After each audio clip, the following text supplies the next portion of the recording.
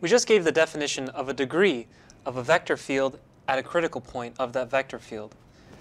So let's give a couple of examples, and we'll start off with some simple examples, examples that come from linear vector fields. And not only do we look at um, linear vector fields, but specifically vector fields of the form alpha x, beta y, where alpha and beta are non-zero numbers.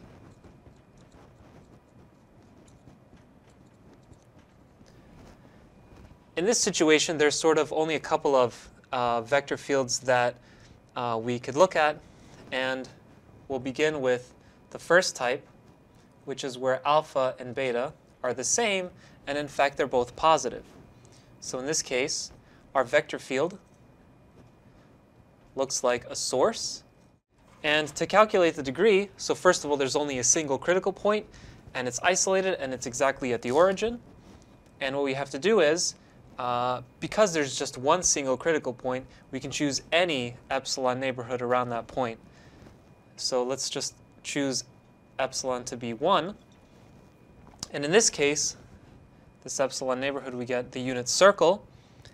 And the Gauss map, the map associated to this, uh, for which we want to take the degree of that function to arrive at the index, tells us that at every point here, we associate, we normalize the vector at that point, and then we map that to, the, to S1 itself.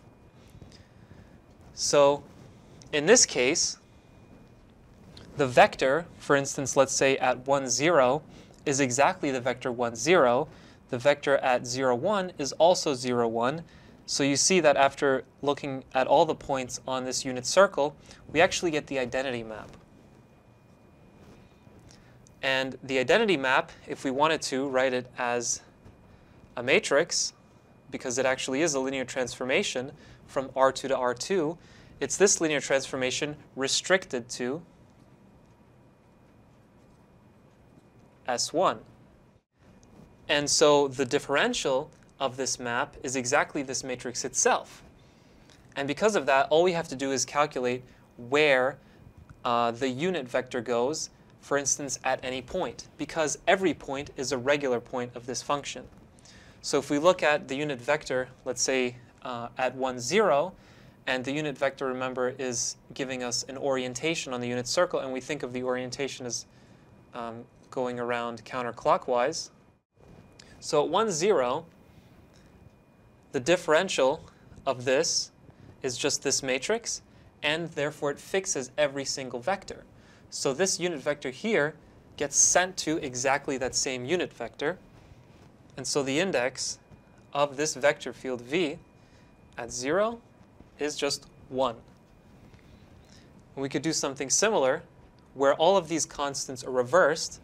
So if alpha equals beta equals negative 1, what happens in that case? All of these arrows get turned inside. So now that source becomes a sink. And then we can look at the unit vec the unit sphere in around the critical point here.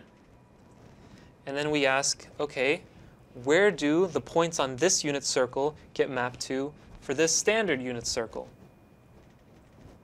And if we look at 1, 0, the point all the way on the right, the vector points to the left. So 1, 0 gets sent to negative 1, 0.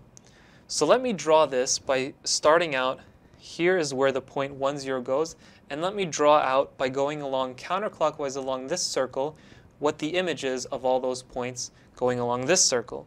If we start at 1, 0, we know that we go to negative 1, 0. And then as we move along in the first quadrant counterclockwise, we end up at negative, sorry, 0, negative 1. So that means that we're going counterclockwise also. So let me draw this here with one finger here. As we move along this circle, we're going in this direction. And then when we reach the top here, we reach the bottom point along this circle. We keep on moving. And you can confirm that these vectors at these points are indeed going along the circle in this manner. And we keep going, we keep going. And what we're doing is we're essentially going around the unit circle. It's just that we started at a different point. So all we did was we actually just rotated by pi radians.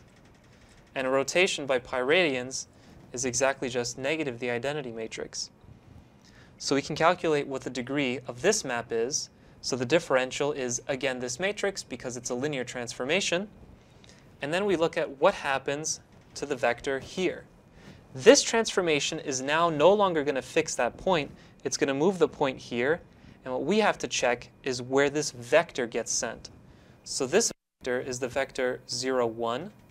And this is at the point 1, 0.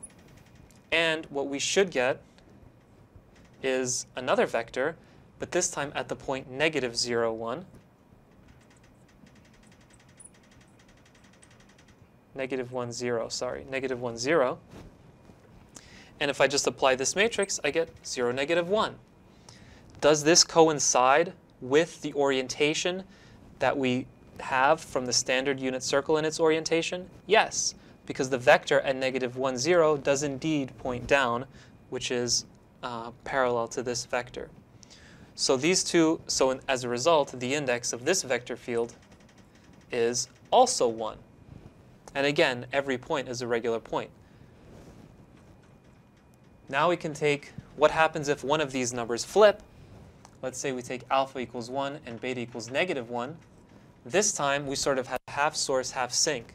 So we have a flow that goes out along the x-axis, and then we have something that flows in along the y-axis. If I wanted to draw the trajectory lines, they would look something like that, and so on. So now we look at the critical point here. Again, all the critical points are at the origin. And we have to look at what the associated function is to the unit circle. So let's start off at the right side. At the right side, the point 1, 0 doesn't move. So it's fixed under this transformation. But as I go counterclockwise here, in this case, I'm going down.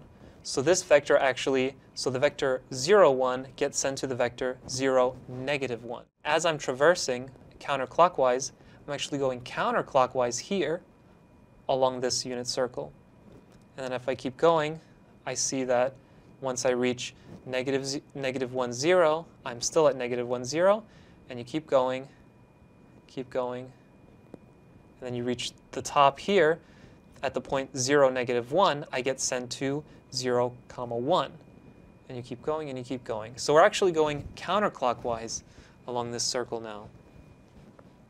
And the associated, um, again, we can actually write this as a linear transformation, again, when we restrict to the unit circle. Um, I'm not saying anything about whether this transformation is what it is on the entire plane R2, but when you restrict to the unit circle, you can describe it by this function. So in this case, what happens is, is that we're leaving the x-coordinates fixed, and we're flipping the y-coordinates. So in this case, we can uh, describe the, the function on the unit circle as given by this, the restriction of this linear transformation on R2. And so we look at what happens to the unit vector 0, 1 at the point 1, 0. Under this transformation, by the way, this point gets fixed under this transformation, and it is a regular point. And what happens is, is it gets sent to 0, negative 1. Now 0, negative 1, again, these are both at the same point now, these two vectors are completely opposite in direction, and so the orientation is different. So it's orientation reversing. The previous two were orientation preserving. And this implies